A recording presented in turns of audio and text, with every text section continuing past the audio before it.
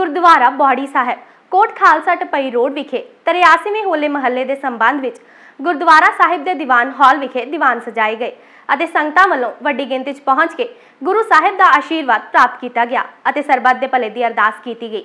ਇਸ ਮੌਕੇ ਕੀਰਤਨੀ ਜਥਿਆਂ ਵੱਲੋਂ ਕੀਰਤਨਕਾਰ ਸੰਗਤਾਂ ਨੂੰ ਨਿਹਾਲ ਕੀਤਾ ਗਿਆ ਅਤੇ ਢਾਡੀ ਜਥਿਆਂ ਵੱਲੋਂ ਗੁਰੂ ਸਾਹਿਬ ਦੀ ਜੀਵਨੀ ਉੱਪਰ ਚਾਨਣ ਪਾਇਆ ਗਿਆ।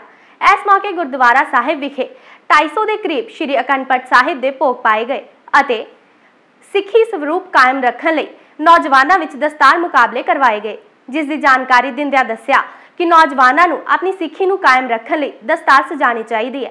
ਇਸ ਮੌਕੇ ਵੱਡੀ ਗਿਣਤੀ 'ਚ ਸੰਗਤਾਂ ਨੇ ਹਾਜ਼ਰੀ ਭਰ ਕੇ ਗੁਰੂ ਸਾਹਿਬ ਦਾ ਆਸ਼ੀਰਵਾਦ ਪ੍ਰਾਪਤ ਕੀਤਾ। ਬੱਚਿਆਂ ਦੇ ਦਸਤਾਰ ਮੁਕਾਬਲਿਆਂ ਦਾ ਪ੍ਰੋਗਰਾਮ ਲਿਖਿਆ ਗਿਆ ਸੀ, ਜਿਸ ਵਿੱਚ 5 ਸਾਲ ਤੋਂ ਲੈ ਕੇ ਤੇ 20 ਸਾਲ ਦੇ ਤੱਕ ਦੇ ਜਿਹੜੇ ਨੌਜਵਾਨ ਬੱਚੇ ਹੈ ਵੱਖ-ਵੱਖ ਵਰਗਾਂ ਦੇ ਵਿੱਚ ਉਹਨਾਂ ਨੇ ਇਸ ਵਿੱਚ ਪਾਰਟਿਸਿਪੇਟ ਕਰ ਰਹੇ ਹੈ।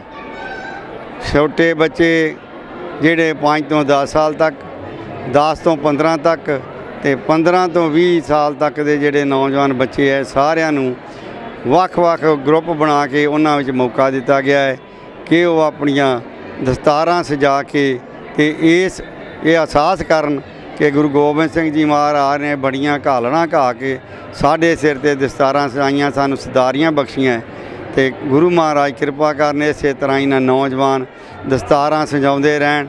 ਔਰ ਗੁਰੂ ਮੁਖਰ ਦੀਆਂ ਖੁਸ਼ੀਆਂ ਜਿਹੜੀਆਂ ਉਹ ਪ੍ਰਾਪਤ ਕਰਦੇ ਰਹਿਣ। ਵਾਹਿਗੁਰੂ ਜੀ ਕਾ ਖਾਲਸਾ ਵਾਹਿਗੁਰੂ ਜੀ ਕੀ ਫਤਿਹ। ਅੱਜ ਦੇ ਦਸਤਾਰਬੰਦੀ ਮੁਕਾਬਲੇ 'ਚ ਸਾਰਿਆਂ ਨੂੰ ਹਿੱਸਾ ਲੈਣਾ ਚਾਹੀਦਾ ਕਿਉਂਕਿ ਇਹ ਸਾਡੇ ਗੁਰੂ ਸਾਹਿਬ ਨੇ ਸਾਨੂੰ ਦਸਤਾਰ ਬੰ- ਬਖਸ਼ੀ ਹੈ। ਇਹ ਸਾਨੂੰ ਦਸਤਾਰ ਸਾਰੇ ਬੱਚਿਆਂ ਨੂੰ ਸ- ਸਜਾਉਣੀ ਚਾਹੀਦੀ ਹੈ ਕਿਉਂਕਿ ਜਿਨ੍ਹਾਂ ਦੇ ਮਾਪਿਓ ਉਹਨਾਂ ਦੇ ਬੱਚਿਆਂ ਦੇ ਕਤਲ ਕੇਸ ਕੇਸ ਕਤਲ ਕਰਾ ਦਿੰਦੇ ਨੇ ਉਹਨਾਂ ਨੂੰ ਨਹੀਂ ਕਰਾਉਣੇ ਚਾਹੀਦੇ। ਗੁਰੂ ਸਾਹਿਬ ਨੇ ਸਾਨੂੰ ਦਾਤ ਅਨਮੁੱਲੀ ਦਾਤ ਬਖਸ਼ੀ ਹੈ। ਇਹਨਾਂ ਦਾ ਇਹਨਾਂ ਕੰਪੀਟੀਸ਼ਨਾਂ ਦੇ ਵਿੱਚ ਸਾਨੂੰ ਹਿੱਸੇ ਜ਼ਰੂਰ ਲੈਣੇ ਚਾਹੀਦੇ ਨੇ। ਬੜੀ ਉੱਚਮ ਤੇ ਬੜੀ ਸੁੱਚਮ ਹੈ ਜੀ ਸਿੱਖੀ। ਸਿੱਖੀ ਸਰਦਾਰੀ ਬੜੇ ਘਾਣ ਹੋਏ ਨੇ। ਤਾਂ ਹੀ ਜਾ ਕੇ ਕਿਤੇ ਸਰਦਾਰੀਆਂ ਮਿਲੀਆਂ ਨੇ। ਤੇ ਤੁਸੀਂ ਪਿੱਛੇ ਦੇਖ ਰਹੇ ਦਸਤਾਰਬੰਦੀ ਜਿਹੜੇ ਮੁਕਾਬਲੇ ਨੌਜਵਾਨਾਂ ਦੇ ਵਿੱਚ ਕਰਵਾ- ਕਰਵਾਏ ਜਾ ਰਹੇ ਨੇ, ਜੋ ਕਿ ਆਉਣ ਵਾਲੇ ਭਵਿੱਖ ਨੂੰ, ਆਉਣ ਵਾਲੀ ਜਵਾਨੀ ਨੂੰ ਬਚਾਉਣ ਦੇ ਲਈ। ਤੇ ਦੂਸਰਾ ਸਿੱਖੀ ਦਸਤਾਰ ਦੇ ਜਿਹੜੇ ਸਰੂਪ ਤੁਸੀਂ ਪਿੱਛੇ ਵੇਖ ਰਹੇ ਜੇ, ਬੰਦੇ ਪਏ ਨੇ।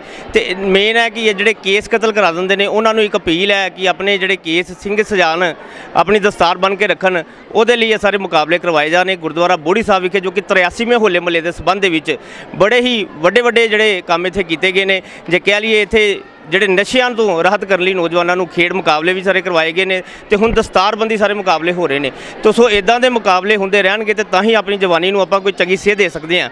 ਕੈਮਰਾਮੈਨ ਰਮਨ ਕੁਮਾਰ ਦੇ ਨਾਲ ਸੁਸ਼ੀਲ ਸ਼ਰਮਾ ਫਾਸਟਵੇ ਨਿਊਜ਼, ਅੰਮ੍ਰਿਤਸਰ।